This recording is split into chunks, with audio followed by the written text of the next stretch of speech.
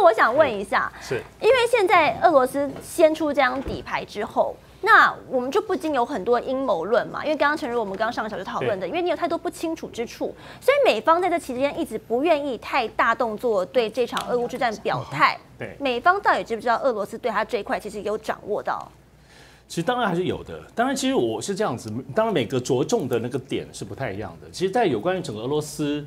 乌克兰的这场战争当中，我想其实，在国际间的观观察点的角度很多。我自己主要观察点，其实当然还是刚刚在讲，主要是美国本身在这一场乌克兰战争当中，它总体的所谓美国利益本身为中心，它的利益是怎么在布局？当然，其实我特别着重的，包括我自己在脸书上大量写的评论，其实主要还是它的经济制裁。因为其实我们在画面上看到的，在新闻每天看到的这些战事的竞争，这边又南部推进，那边又东部推进，然后这当中也有很多的让我们情感上很丰盛、很丰，就是很很波动的。包括一些非常可怜，也有一些很荒谬，或者也有有趣的，比如说俄军上门去敲门讨饭。就我们在一些在战事里头，其实看到了，一般看到是政治层面。可是呢，真的要看美国的角色，真正厉害的是，因为他终究没有派兵到乌克兰的战争上，所以你看到他有好多动作，其实都是无论是透过乌克兰本身在在拉扯，或者是说在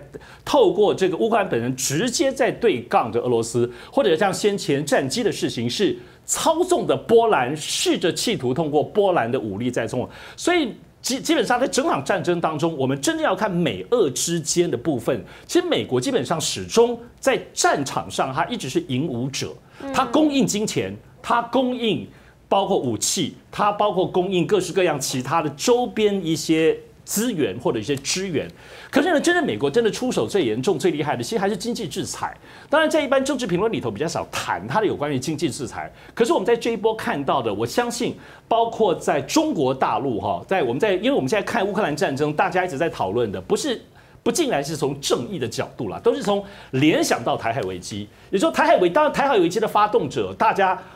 我要全世界都没有认为台海危机的发动者是台湾会发动 台海危机，或美国会发动台海危机，就是中国大陆会发动。那么中国大陆发动之后呢，台湾的回应之外的话，美国怎么基于他们自己本身所谓的美国利益之下，他会做些什么？是这一次大家全部都在透过乌克兰在看，而我自己刚刚讲了半天，最多的就是美国。美国这次让大家真正在看的是。他不费一兵一卒的隔空在做引武者，还是达到了一些作用哦。但是他真正厉害的还是他的经济制裁。那在经济制裁的讨论当中，当然一般包括观众朋友当中，在政治面的部分的政论节目里头是不太多谈，因为它的方它的方面其实方向其实非常多。但是我们总体来看，它其实确实美国在这里头确实是一方面，我们可以看到它跟过去不同，对于伊朗或北韩当中经济制裁打的一部分，它也也很厉害。可是呢，它有一招一招，所以像我们过去一直都都在观察，包括刚刚讲美国整个的国际战略的经济战这块很独特的部分。当时一说推出会到 SWIFT，哦，就是我们讲在金融交易平台，它把所有俄罗斯当中美元要汇款的所有一切，你你的所有的商品交易、金融交易，所有全部都不能做了的这个部分，大家都觉得哇，你已经推出一个也算是小核弹等级的经济制裁。但没有想到，其实后面还有更多，一波又一波。那么，包括我们想在上个礼拜的比较大，对全世界认为在所谓经济制裁比较大的一个部分，当然是它的能源禁运。那有关于能源禁运的时候，哇，他已经觉得，哇，这已经是俄罗斯的命根子了。要知道哦，能源包括石油这些，当然现在我们知道是。包括欧盟很多国家跟日本是不跟进的，但要知道，如果他们当时跟进的部分是多恐怖，因为俄罗斯的部分整个政府或国家三分之一的收入都是靠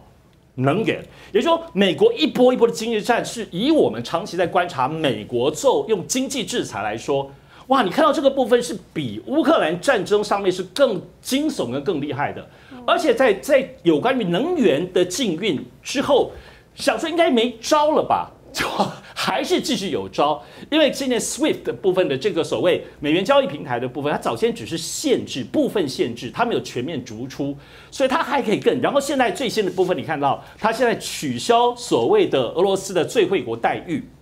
那么最惠国待遇听起来没有什么，但它意思其实就是俄罗斯所有商品的关税，它全部都要提高。所以你讲说，哇，美国其实真的在有关于在打一场要置对方于死地的这个经济战当中，比他的在战场上的部分要厉害。我们先前以为他已经到顶了，因为先前我们讲 SWIFT 这件事情，它是包括对北韩，包括对于伊朗都是用，而且用到这个地方，他们大概两个地方已经都已经快要挂了啊，都要透过中国大陆这个地方绕来绕去，就没想到他一招又一招。那么现在取消关税，然后我在上个礼拜我自己特别特别在意的部分就是说，包括所谓标普哈，包括惠誉，以及包括穆迪，美在应该全世界三大的信用评比。把整个俄罗斯的部分的国债的部分资产压到 C 级，这个部分的概念基本上已经把所有俄罗斯的国债，包括卢布都已经判死刑哈。基本上这个要知道，过去欧债危机的时候，也不过就是标普把 A 调到 BBB 减，调人家调到 B，欧债市场就爆发了。你知道那几个国家，希腊、葡萄牙都快要死掉了。那么对于俄罗斯这个部分当中，你说标普他们真正是一个很客观的公司吗？没有都知道啊，标普背后其实都是犹太人，他们基本上都是跟美国利益挂在一起的。所以这里头也有一些我正在讲的是，美国政府出手用经济战去掐死俄罗斯这件事情，有很多周边的里应外合。那么包括现在包括美国的企业，你说这个东西当然好，你说是从人道的角度吗？你说麦当劳啊，包括苹果这些都撤了，这些是吗？那么还是说这里头，因为很多背后的他们的 owner，他们的部分的股东，因为都是犹太人，都是在美国金融或者是美国政府当面政商有非常多牵连的这些角色。所以其实我想这里头有关乌克兰在战场上的战争，有很多政治层面跟军事层面的讨的讨论。在这里头，我特别跟各位分享的部分就是说，我们真的在国际上或国际上真的在看，包括在台湾的观众朋友，乌克兰战争对我们最大的影响是什么？当然就台股的波动嘛。所以这里头，大家其实被它真正影响到的，确实要从经济跟产业这块。当然，这块当中不太是政治评论当中会着眼的角度，只是这里它的严重性，跟我要讲说，我们从美国对付俄罗斯，未来如果台海战争当中，美国怎么对付中国，我们这次真正看到它的这个经济金融战一波一波一波，真正是蛮厉害的。那么俄罗斯如果没有中国现在挺了他的情形之下，应该早就挂了。嗯嗯，我想要特别念一下我们网友评论，因为网友刚看到新面孔，他就很兴奋。这个 Troy F 他说，他觉得我们的新的评论员世安长得很像伍佰，但希望等下你可以来一首断了断了就断了。好了，那我们也看到这个呃，谭家慧说，委员和江主席长得真像，都是帅哥。好，感谢我们的是帅哥就好，是帅哥。对对，是是是。江怎么样？江主席不是帅哥，是不是？没有说都是帅哥，都帅哥你不要挖洞哦。都是。我因为我想先问一下，因为这一次刚刚提到说，很多国家我不知道他们到底知不知道美方在你这边进行了这个生物研究，甚至是生化武器的可能性，不禁让我想到前两天你还记得吧？美国是叫台湾干嘛？赶快盖第二座的预警雷达。对。那这个预警雷达之前在新竹也有一座嘛，他花了很多钱，而且每年要花多少钱去做维护？对。结果现在他这些资料也是全部都是输出到美方，我们自己甚至没有办法掌握。所以有没有可能我们台美关系友好到最后，也有可能有这样的实验室在台湾出现？我觉得当然，首先这个实验室哈，这个其实美国是有承认说，在乌克兰的确有设立相相关的所谓的生物的实验室啊。那至于这样实验室到底有没有包含所谓生化武器或？一些病毒的培养，老实说，现在目前是各说各话。但其实回到美国人立场哈，他的确在很多世界各国不同地方都有放置他一些相关所谓合作的组织跟单位。就以台湾这个乐山的雷达站来说，好看起来是所谓的这个台美合作嘛。然后，然后其民进党的人士一直不断的告诉大家说，哎，美国人很棒哎，他资助很我们很多的这个军备的武器，包含这个军事雷达，可以监测所谓对岸的一个一举一动这样子。但问题是大家知道吗？当你盖好好这个雷达站之后，我们每天每年要花这个数亿的美金去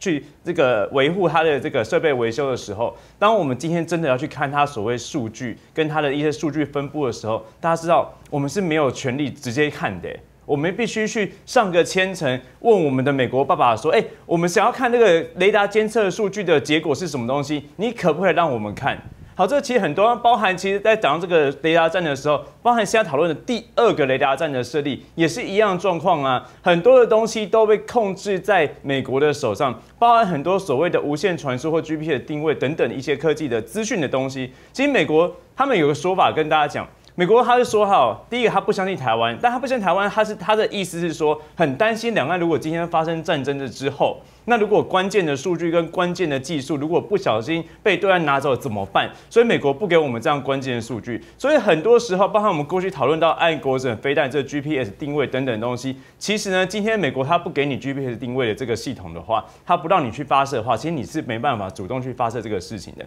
所以很多关键的技术都掌握在美国人的身上。那我们就要问大家说，我们今天花了这么多钱，花了这么多精力，我们值得吗？我们真的是需要去做这件事情吗？难道我们真的要把所有的关键技术都掌握在另外一个国家手中吗？当然，或许呢，有人会说没关系啊，美国跟我们之间其实很友好啊，因为现在台美是史上最友好的时候。但大家也不要去忘记乌克兰这次的事情啊！其实西方国家的没有，应该不要说西方国家，每一个国家的核心利益，它说变就变啊！它不断会针对它国家利益去做不同的调整。所以，其实我们真的要这么去相信美国老大哥吗？我是建议啦，友好是友好，呃，亲近是亲近，但是哈，不要过分的相信啊！我们还是要维持一定的自主性啊！最后哈，再讲一下下刚刚那个乌俄战争，老实说，现在这个每天都有新的战况发生嘛。大家都知道，现在那个整个俄罗斯看起来好像已经已经呃进军到乌克兰里面，然后很很多人都说接下来什么时候停停止嘛？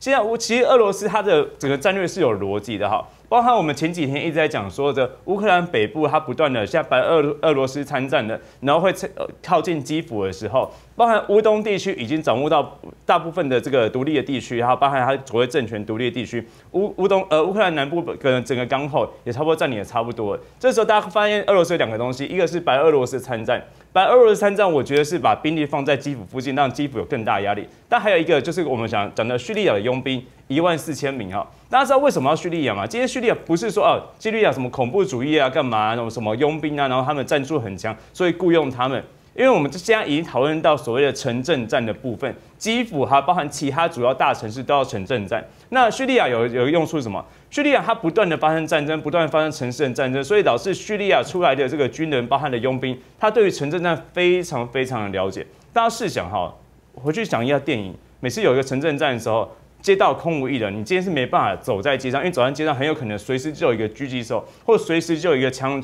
是朝你射过来，所以城镇战是非常高压的一个一个战争的行动。如果今天他邀请叙利亚过来的话，叙利亚佣兵他其实对城镇战是非常非常熟稔的，代表说今天叙利亚佣兵进入这个战场的时候，已经代表说俄罗斯哈，他基本上要针对这战场进行收尾，针对基辅或其他大城市可能展开比较完整的攻击跟控制的哈。而不是单纯的过去只是在外面包围，所以我觉得的确，哎，一按照目前的这个战争的现况来说，慢慢慢慢已经进入所谓中断了哈。那很多人会说，哎，其实这个好像看起来俄罗斯一开始说要攻击很快，两个四十八小时之内，或者是三月几号之内就要把这个战争打完。老实说，我们现在面对是一个很快速的一个讯息化的时代。过去我们以过去的所谓这个英国，他在那个阿根廷。的战争的时候，其实我们以前看战争的时候，我们是等报纸，还要传讯息回来，打电报回来。其实过了两三天才看到当时的战争讯息。到第一次波湾战争之后，CNN 进进入那个波湾战争之后，第一次的直播转播还是新闻媒体。到现在我们不需要靠新闻媒体，每个人手机拿起来就是各种转播，所以我们讯息压制非常非常的紧缩、扭曲的情况之下，每个讯息变得特别快，所以大家没耐心啊，大家觉得说战争怎么打这么久？哎，历史上所有战争其实打都打蛮久，包含第一次波湾战争都打了四十天，我们现在还打不到二十天呢。所以大家不要那么没耐心，说说哎，什么俄罗斯很弱啊，打不下来。其实他们战争有一步一步持续的。最后讲一下，俄罗斯已经把乌克兰西部的一个卢茨克已经开始进行轰炸了。为什么要进行轰炸？乌克兰西部过了基辅，为什么轰炸？它主要目的是要去切断所谓。波兰或西方国家从波兰进入乌克兰的一个补给线，他要告诉乌克兰跟西方国家说：“你这条补给线，我拥有制空的优势，我可以把你的补给线切断，不要随意的把都补给补给的武器跟粮食运进来，我随时都可以把你切断。切断补给线用意就是要去孤立乌乌克兰，孤立所谓基辅的这样一个资源跟能源的配配置跟战略，让乌克兰变得更孤立无援，然后尽速的把这场战争结束。”